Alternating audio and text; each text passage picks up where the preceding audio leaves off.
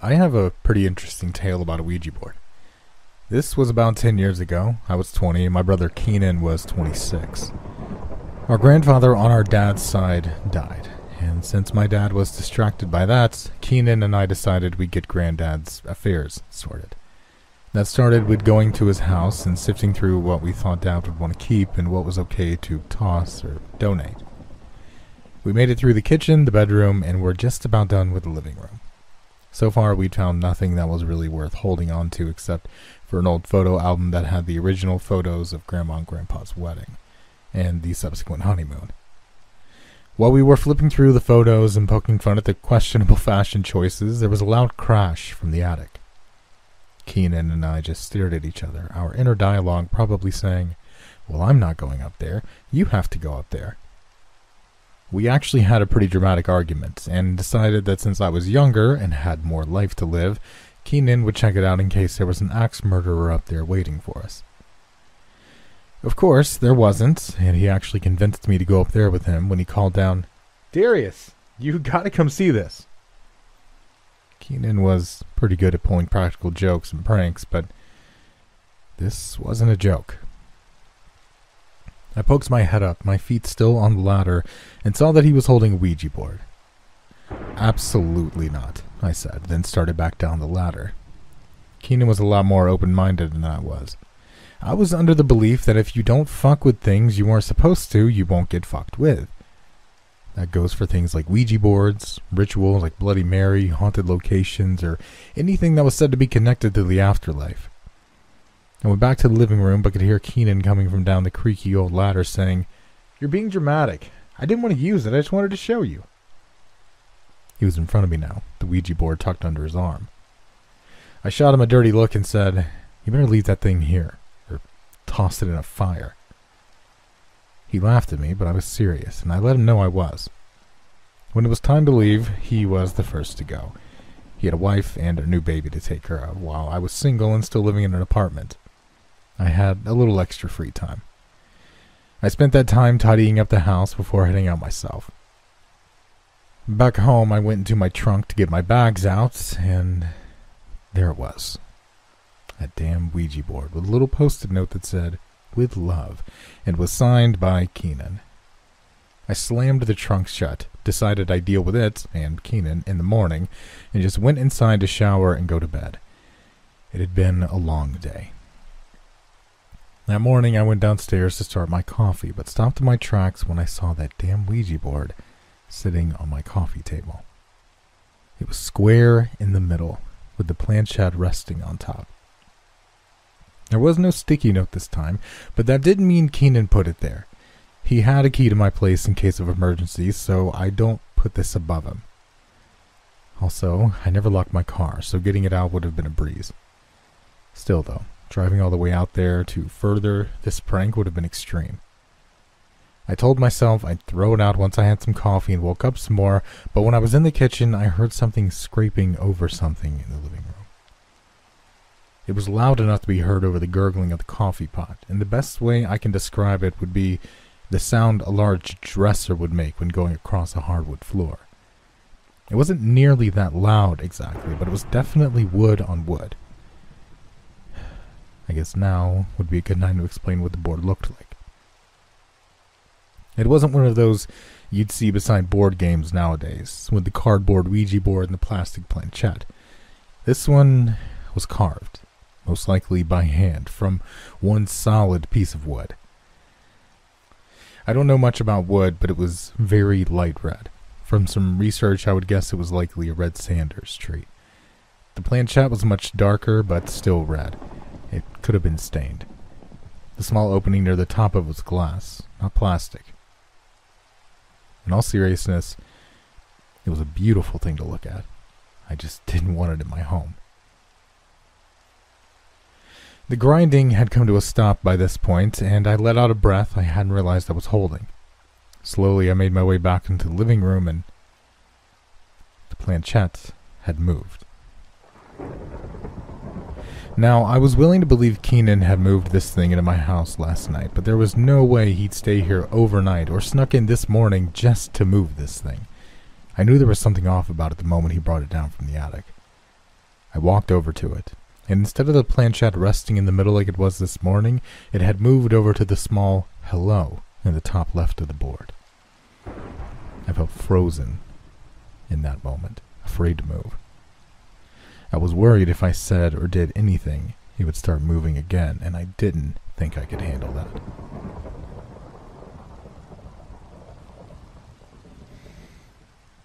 I called Keenan, fully intent on yelling at him for bringing this thing into my house, but when he answered, all my animosity went out the window. Keenan was audibly upset and distraught. Darius, I was just about to call you, man. Listen, we need to get rid of that fucking board as soon as we can. I, I'm sorry I put it in your car, but you have to get rid of it. Keenan went on to explain that he'd had a horrible nightmare last night. In this nightmare, he saw Granddad take his own life over and over again in various different ways. It just never stopped, he said. I woke up sweating and crying. I got into the shower to try and clear my head, but no matter how cold I set the water, it was burning my back. I got Malik to look at it and. Just look. I'll send you a picture. I pulled up the picture on my phone and wanted to cry. Keenan's back was riddled with thin scratches from top to bottom. Some of them had small dots of blood coming from them. I'm heading to the ER to get them checked out and make sure I don't have any weird disease, but I need you to destroy that board. He was serious. This wasn't an elaborate joke. Without thinking, I snatched up the board, threw it in the fire pit, poured lighter fluid all over it, and set it ablaze. The smoke was thick and black, and the smell was foul. After a few hours and a long talk with my landlord about when it's appropriate to have a fire in the backyard, the board was finally gone. I spoke with Keenan sometime later and he explained everything. Apparently, the Ouija board wasn't just lying around in the attic like I'd initially thought. It had been locked away in a box with other equally questionable things. Turned out Granddad used to be into some strange things when he was younger and had locked it all away for a reason. Keenan is better now. The scratches never really got a medical explanation, but I don't think either of us expected that, and they cleared up after a few weeks. Luckily, I never had anything like that happen to me. The other things in the box were disposed of the same way the board was, and neither I, Keenan, or his husband Malik told anyone in the family about it. It wasn't the right time, given we just lost Granddad, and honestly, I don't think the right time will ever come. It's nice to get it out there, though.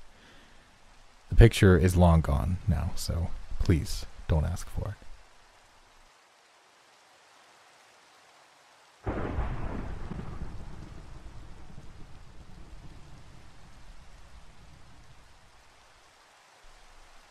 Ever since I was a kid, I loved being outside at night. It didn't matter if it was summertime or wintertime. I loved being out in the dark when everything was quiet. It was therapeutic for me. I could get away from the stress of everyday life, like grades, school, my parents. It continued on when I got older, too. As a teenager, I'd walk around outside my yard anywhere from 12 to 4 a.m. My parents weren't too mad about it, seeing as we lived in a pretty safe neighborhood and our backyard was fenced in.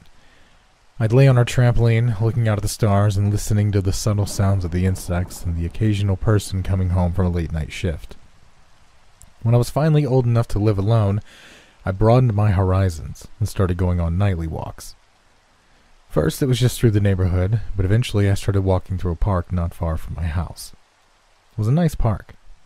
Not too big, but it did have a few trails that led through a forested area where only people and dogs were permitted, so you wouldn't have to worry about people with bikes staying on their side of the path. Sorry to any bikers out there, but y'all do get in the way. I was on one of these late night walks on those trails that I saw something that has kept me off of them since. I was already pretty tired from a long day at work, but winding down with a walk sounded perfect. I threw on my walking shoes and headed out. Around halfway down the trail, I noticed how quiet the forest was. Of course, it was late, but that never stopped the nocturnal animals from making noise. In the few times I'd done this before, I'd heard owls, some deers, maybe a fox once or twice, but now It was strange. It felt wrong, for lack of a better word. I decided it was best for me to just head back home and go to bed. I was tired anyway, and I had the day off the next day, so I could even sleep in. With me promising myself I would do just that, I turned to go back to the trailhead, but stopped. Something was standing in the middle of the trail.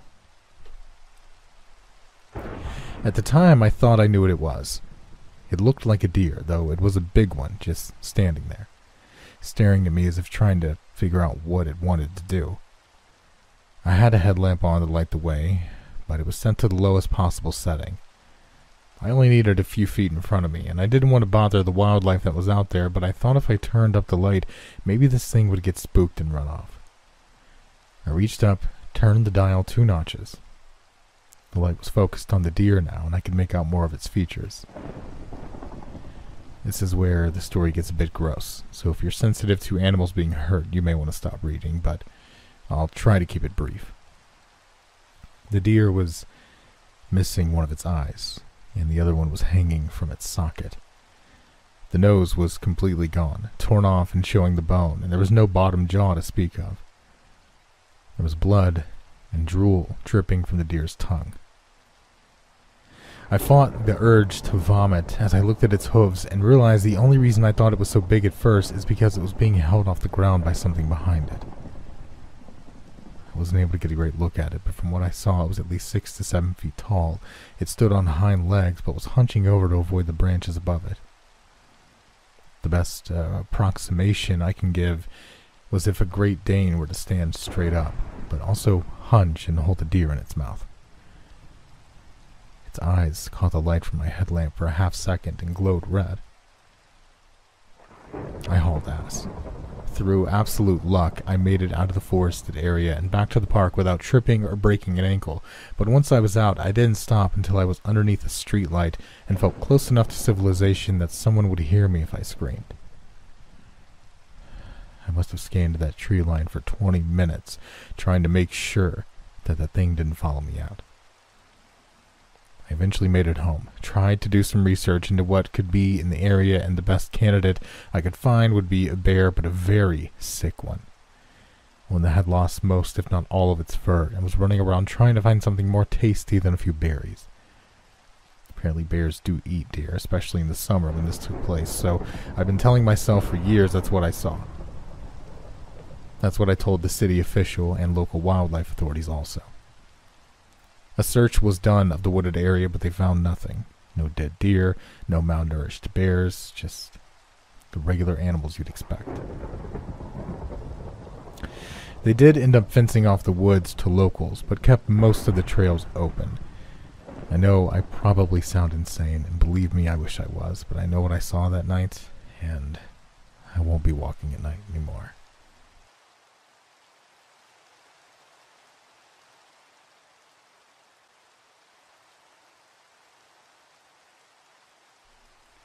I tell this one a lot, but I've only ever had a handful of people believe me. There's going to be talk of addiction and heavy drug use, so I'd skip this if you're sensitive to that. I used to break into houses fairly regularly. I was in my early 20s, strung out on some serious shit, living with eight other people in my same situation, and wanted money. Easiest thing to do, seeing as I couldn't hold a job longer than a week, was to steal money or jewelry and sell it to my local pawn shop to score a few hundred bucks.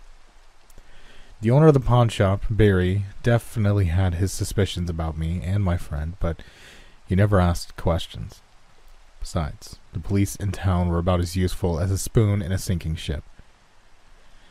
One particular night, I believe it was a Friday, I'd been without a good high in three days and was getting incredibly desperate. A lot of the houses in my general vicinity had gotten smart about my friends and I. Many had brought home a dog recently, put up some cameras, other just bought motion sensor floodlights. All were great ways to ensure no one was ever going to try and break into your house. And then I got word of a house at the dead end of a road that was recently foreclosed on. It was about five miles from where I was staying, but I had a bike, so the trip wouldn't have been that unbearable.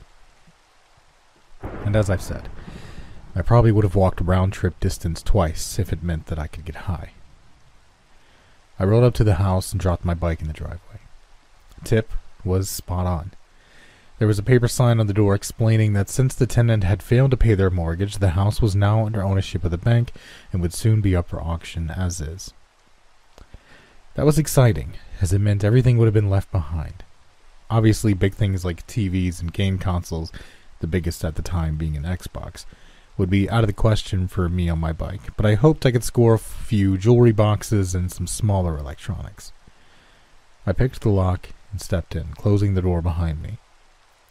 I knew that the lock to the house was put there by the city, so I had no more than three to four minutes before the boys in blue came bursting through the door looking for me. I knew immediately this was an older person's home. There was plastic covering the furniture, and the house had that familiar old person smell that we all know. With that in mind, I skipped over the living room, as it was unlikely this person had a gaming console, and headed straight to the bedroom. I was much luckier there. On top of an incredibly ornate and admittedly beautiful dresser sat three different jewelry boxes. I looked through the first two and saw diamond rings, earrings, pearls, the works. Whoever lived here loved to go out and look good while doing it. It was as I was tossing the second box into my bag that I heard the squeak of a door opening behind me. Out of pure instinct, I dropped everything and threw my hands up. While the police were useless, as I said before, they were more likely to kill someone than they were to bring you in for questioning. It's easier that way, I guess. But luckily for me, it wasn't the police. Though I'm now wishing it was. The bedroom door wasn't the one that was creaking open. It was the closet door. As it reached the halfway point, a hand came around the side. It had been pretty dark in there, but I was able to make out the hand as it was incredibly pale and contrasted heavily on the dark stain of the door. It was an older woman's hand. The fingers were long and bony. The nails were long and painted a deep red. As more of the hand and then arm came out, I said, I'm leaving right now. I'm dropping everything and leaving. And I had every intention to. I left my bag on the floor and started toward the bedroom door, but now there was a little old lady standing in front of it. She was small, no taller than five three, and she wore a light green nightgown, had very little hair, and her nails were painted red. Same woman from the closet? I thought. It couldn't be. How'd she move that quickly? I spoke again. Ma'am, I'm leaving. I don't have anything of yours. I left it in the bag. I didn't think anyone lived here, and I'm just trying to make some money. The woman's sweet face turned sour, and she made her way over to me very slowly. She looked as if she was barely holding on, and again I found myself asking how she made it to the door that fast if she could barely move now. Looking up at me, she held a long, skinny finger and said, Don't come back. I pushed past her, ran through the house, hopped on my bike, and hauled ass back to where I was staying. As I was back, there were only about three to four people there. I was so freaked out and tried to explain to them what happened, but they were too blasted to even know I was in the room. I ended up sleeping under an overpass that night. Around a week later, I found out why the house was really foreclosed on. Yes, the woman who lived there hadn't paid for a few months, but it was because she was recovering from breast cancer. She didn't have any extended family, and her husband had passed just a few years before the house was foreclosed. Apparently, when she had come back in for a routine checkup, the cancer had returned, and it was far worse. She took her own life when she got back home. I used the library computers to look up her name and found out that she'd hung herself in the closet. The same one I saw her walk out of.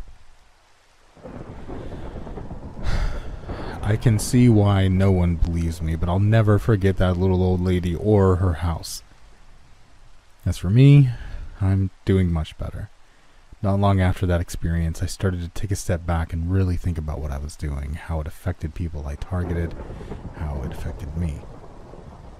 I was on the brink of death, at some point doing the bare minimum to get by. Using the last bit of money I had, I reached out to a family member and poured my heart out. They said I could live with them as long as I stayed sober and went to rehab. It's been well over 12 years and I haven't looked back. I think about that old woman a lot whenever someone asks about ghost stories, and I tell them this one. It's always met with, you probably hallucinated, or you were having a bad trip and don't remember it right. yeah, I wish that were true.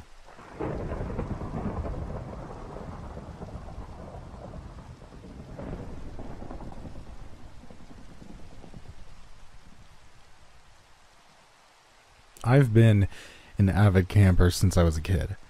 My dad would always take my mom and I on hikes through national parks to the camping grounds, and we'd spend two to three days out there. A lot of kids at school didn't get the appeal, but it was something that I fell in love with on our first trip out. Our trips became annual. We planned work and school schedules to make sure we could get at least two days of a trip, or it wasn't worth it. We were a camping family. But of course, as I got older, so did my parents, and soon they weren't able to go out as often as we usually did. That's when I got the idea of going out on my own for the first time. This was last year, 2021, so COVID was of course a thing, but a lot of national parks had their camping sites open since, well, they were in the middle of the woods. I reserved a spot online and headed out. It was sometime in mid July, way past the 4th. The trails to the site were pretty quiet. It was a new park, so I had no idea what to expect, but the scenery was just incredible. There were countless streams, towering rock faces, and even a few waterfalls. I made sure to take plenty of photos for my parents, but halfway down the trail, I found myself completely entranced. I couldn't even think about looking at all of that through the lens of a camera, so I opted to just sit for a few minutes on the bank of a large river. I was so focused on the water, I hadn't even realized that it was no longer making noise. I shook my head a bit to try and shake myself from daydreaming, thinking that I'd somehow zoned it all out, but after a few seconds of hearing nothing, I became worried. I called out, Hello? But I couldn't hear it. Even more scared now, I kept yelling out to anyone who was near me, hoping that they would hear me. Eventually, someone came from behind and grabbed me by the shoulders and shook me. You okay, buddy? It was an older man, dressed like he was maybe working for the park. I, I wanted to hug him, kiss him on the face, just because I was ecstatic about hearing again, but I held back and just said, Yeah, I think I just got a little lost while coming to the river. Can you point me to campsite three? He pointed me in the general direction and said, Just look for the markings on the tree. I'll take you straight to it. You want me to come with you? I politely declined and went about my way, still thinking about what had just happened. In all my years of camping, nothing like that had ever taken place. I made it to the campsite without another incident and set up quickly. It was already beginning to get dark, so I set up a fire and started cooking shortly after. After dinner, I put out the fire and went to my small tent for some reading by headlamp when I noticed it. Sounds were gone again. I sat up in my sleeping bag to make sure. I really focused in, trying to listen for anything. An owl, deer, hell, I'd take a complete stranger at that point. But there was nothing. I made my way out of the sleeping bag and unzipped the tent slowly, though it felt pointless because I wasn't even sure if anyone would have heard it. Outside the tent, the humidity and heat really hit me. I was surprised by how much better it felt in the tent, and I was tempted to just go back inside and wait out this bizarre situation, but something in me said I needed to know. Outside the tent now, I turned up the intensity on my headlamp and scanned the tree line. I almost didn't see it at first. It blended in so well with the trees that I'm still not sure I was hallucinating or dreaming. It was tall, maybe six or seven feet high, and wore a blank expression.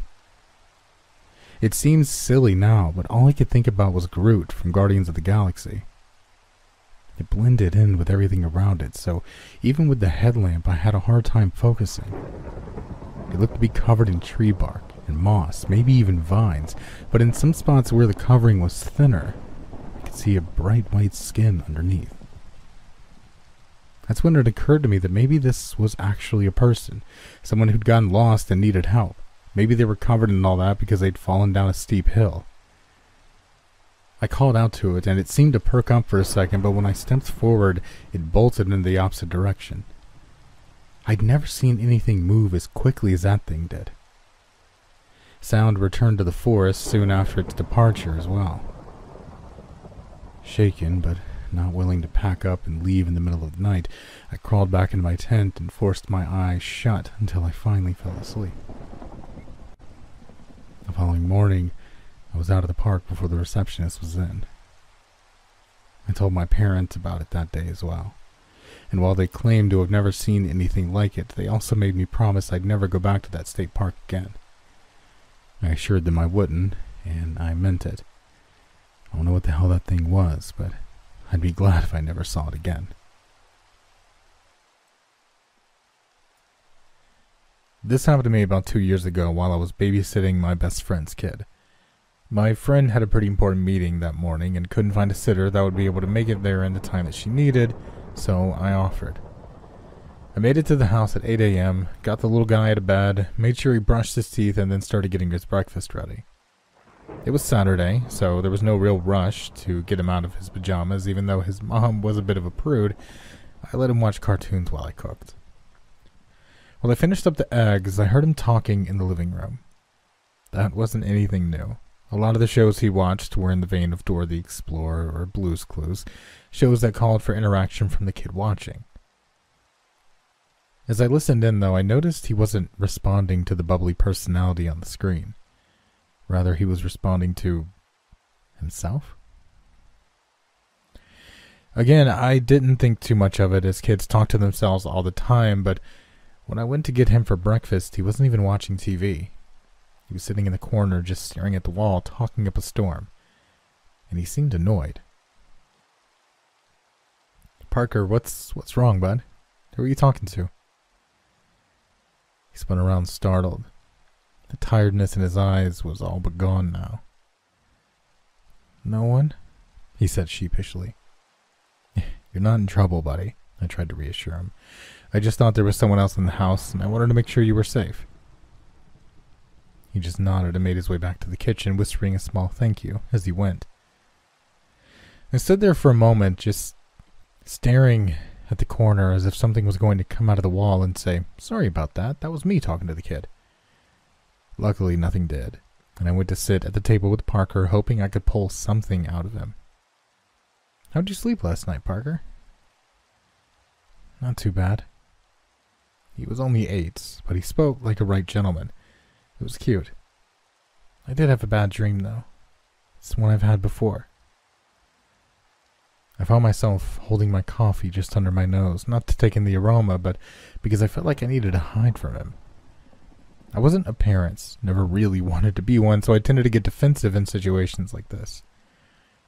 I didn't want to say the wrong thing and have Parker tell his mom I'm a terrible babysitter. I pushed for more details. Do you mind telling me about it? He pushed down an exaggerated sigh and explained. It starts with me waking up in my bed, but my room looks different. My floors are wood, and my bed squeaks when I get up. I walk over to play with my toys, but they aren't there. They're old toys. They're all made of wood or metal and aren't very fun. After that, my bedroom door opens, but it isn't my bedroom door. The glow in the dark stars are gone. It's just plain. It squeaks just like the bed does. I look at the doorway and there's a big man standing there. He isn't fat though. He's just really tall. Reminds me of the strong man from the circus. He never talks to me, but I get up and walk over to him.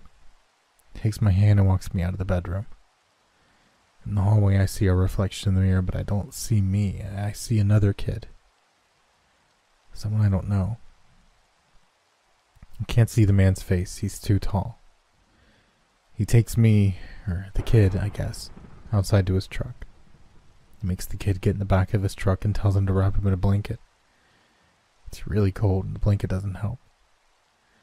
The ride lasts for a long time. When the truck stops, I hear the man get out and open the truck door on the back. I can't move now, too cold. He carries me for a while before dropping me on the ground. I hear him start digging, and I wake up.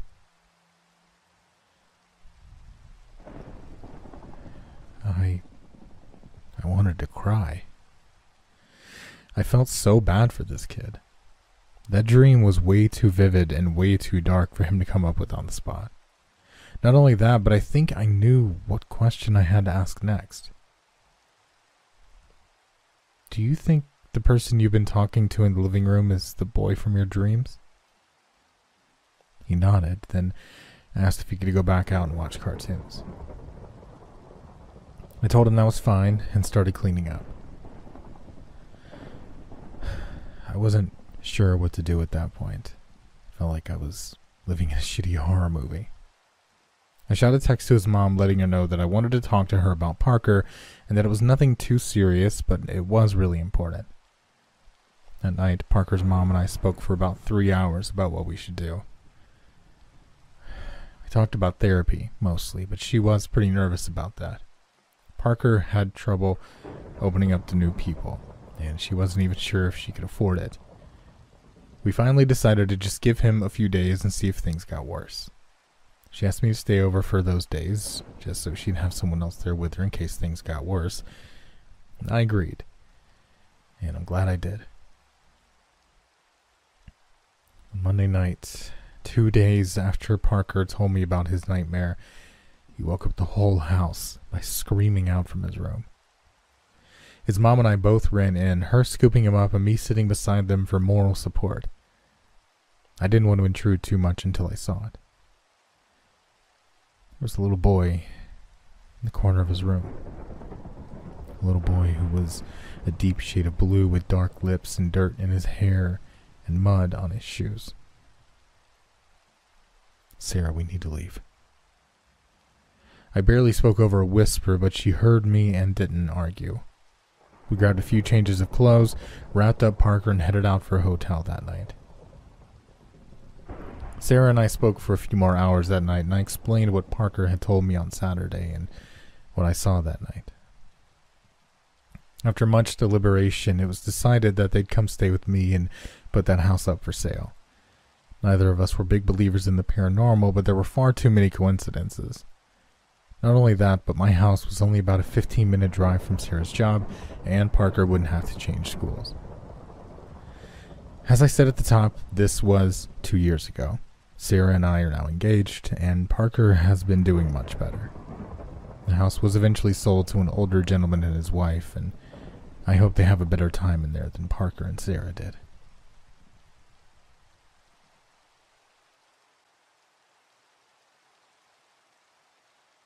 As I said in the title, I've been dealing with some weird shit lately, and I can't really think of anyone to go to other than the internet.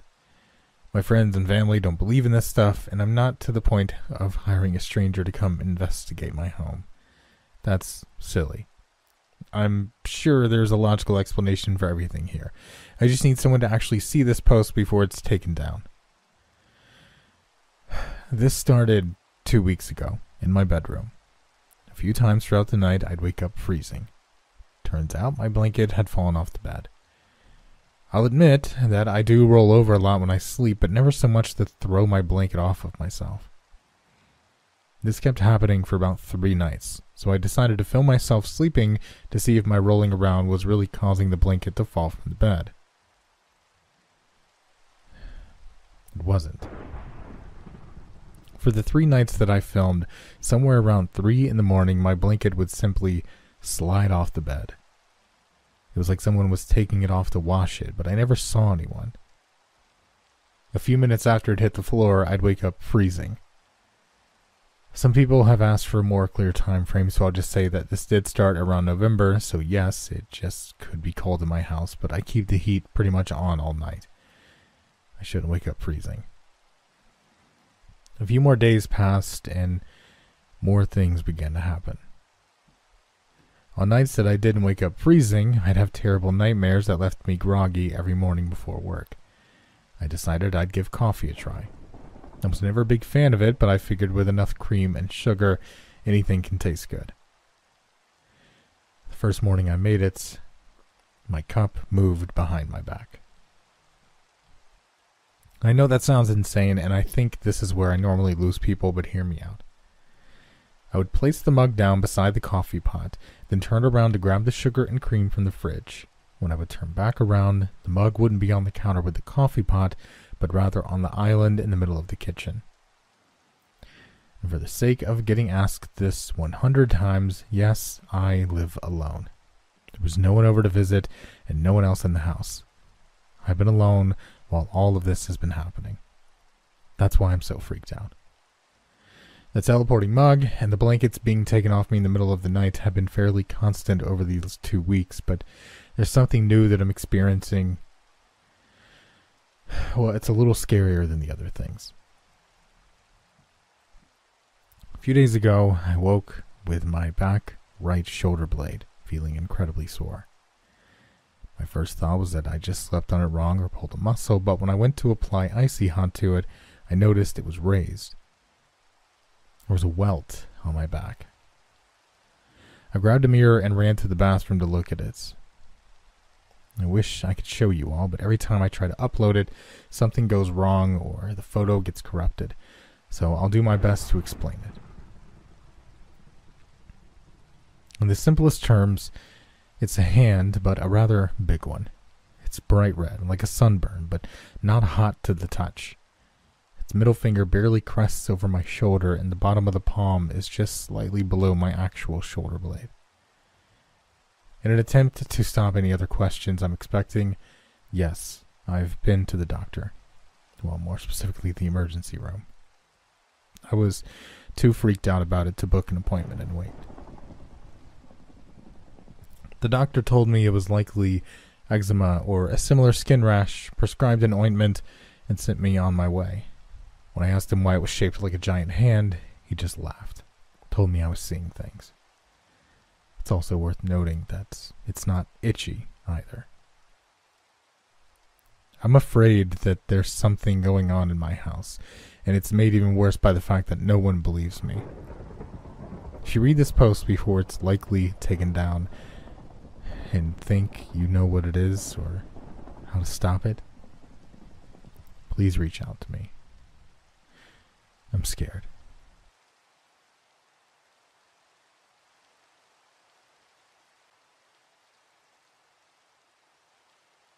Since I was old enough to understand what ghosts were and old enough to watch Ghost Hunters, I told my parents I wanted to do that for a living. As an adult, I understand how ridiculous that dream was. I'm not even sure being a professional ghost hunter is a thing, but that didn't stop me from asking for ghost hunting kits every year for my birthday until I was 16. That was the year my parents caved. They told me that I could have it as long as I was safe and didn't do anything stupid. Basically, don't break into any abandoned buildings or asylums looking for ghosts because I'll more than likely find a trespassing charge rather than the paranormal. I understood where they were coming from, so I looked up a few haunted locations in my area. A few were old bridges that were way too dangerous to cross, or places that were long abandoned and forgotten to time that were fenced off. It took a few hours, but I finally ran across something that was safe to visit and wouldn't get me in trouble. At least I hoped. It was a cemetery, about a mile from my house. I won't share the location of the cemetery because while the story takes place nearly 30 years ago, the cemetery is now a protected historical landmark, and I don't want this comment held against me if someone tries something stupid. I set out one night with a friend, assuring my parents we'd be safe and we wouldn't get into any trouble. The cemetery was creepy enough during the day, but at night it was something completely different. Some of the headstones were falling over due to age, some were completely split. There were even some large tombs that had been erected some hundred years ago. We walked the perimeter doing an EMF sweep, but nothing came up. We then decided to try out that digital voice recorder and see if we could speak to anyone.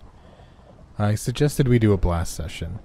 It's a silly ghost hunting term that means we'd ask a question, wait about a minute or 30 seconds, and listen back to see if anything spoke back. It was a good way to communicate with whatever may be out there.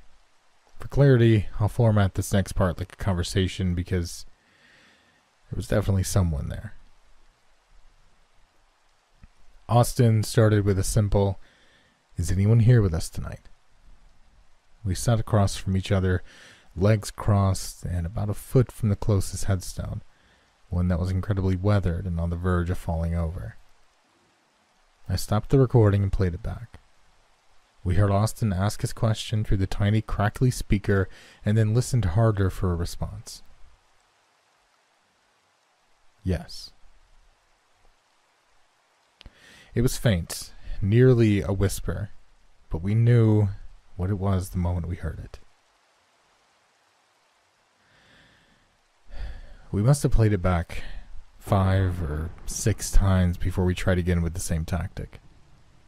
This time I asked the question How old were you when you died?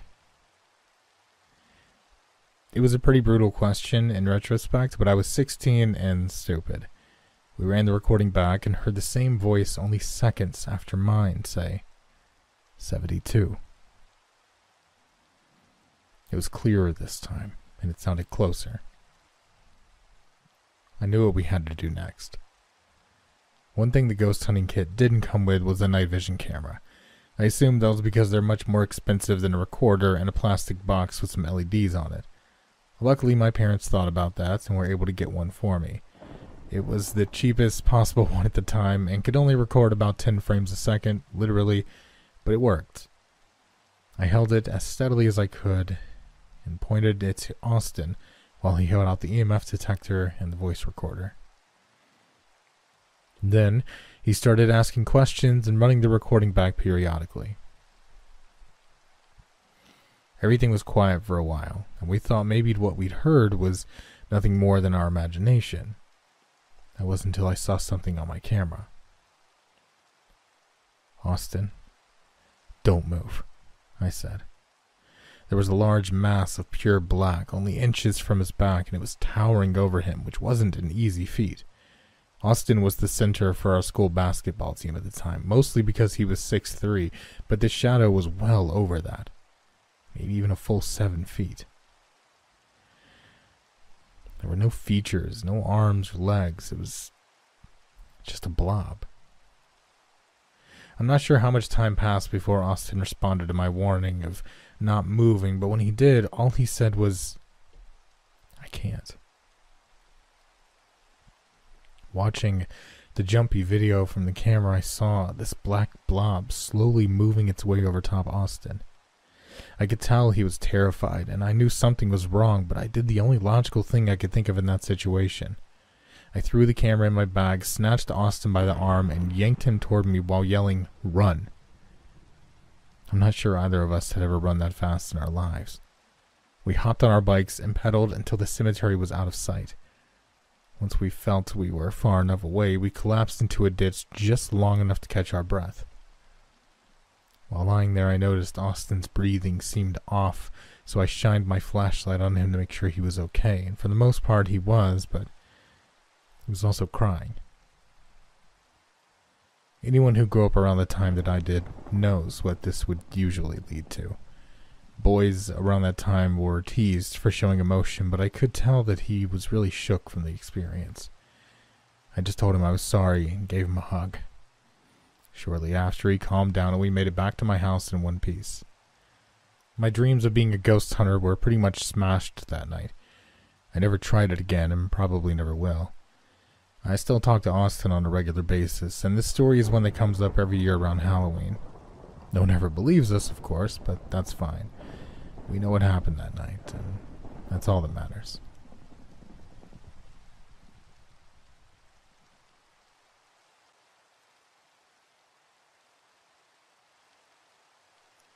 My son told me about this thread because he knew I had quite the story. I'm new to Reddit and don't type on the computer often, so excuse any mistakes in my writing. This happened well over 30 years ago. I was in my early 20s and into my first real home. A well off friend of mine's father was willing to rent it out for free for a month under the promise that I'd get a job in that time and start paying. It wasn't a bad deal, so I took it and started working as a bag boy at a mom and pop shop down the road. The store was only a 10 minute walk, and since I didn't have the money saved for a car, it made perfect sense for me. One lane street with no white lines on the sides or even reflectors. Pretty dangerous at night if you weren't careful. I didn't figure that out till much later. I'd say about three months after moving into the house. The bag boy job was going well, but when my boss asked if I could work nights putting things on shelves for a pay raise, I took it in an instant. I'd always been a night owl, and having the whole day to myself sounded like a dream. Furthermore, I'd spoken with some of the night crew before, and they seemed like really good people. At this time, I still didn't have my car, so walking was my only choice.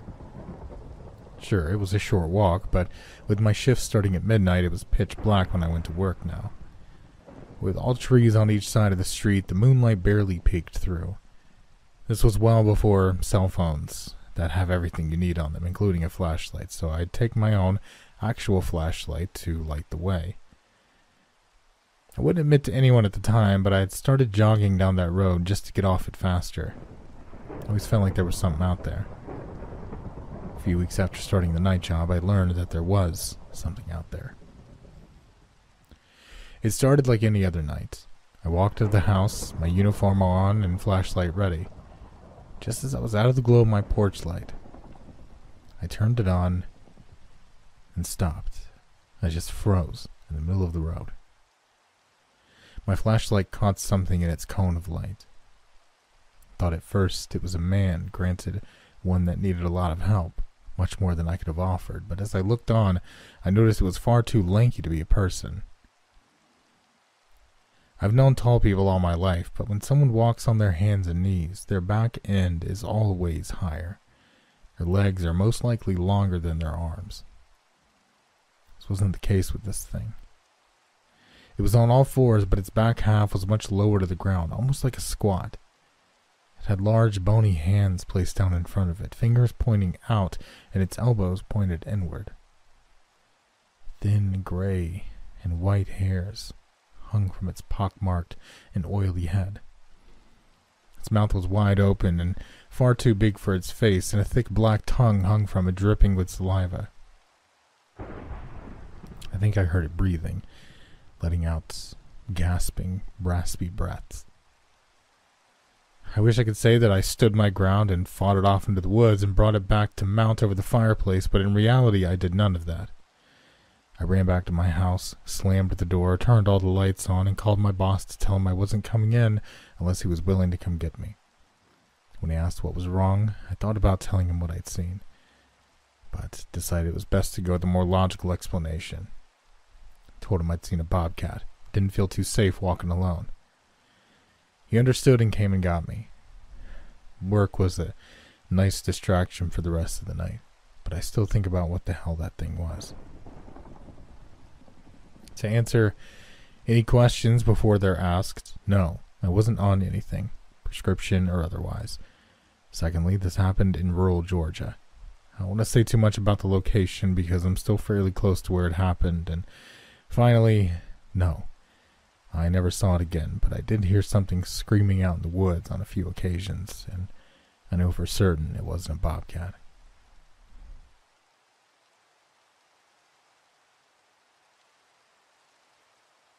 I've had a lot of people try to convince me that this was simply a case of sleep paralysis, but I've never believed it.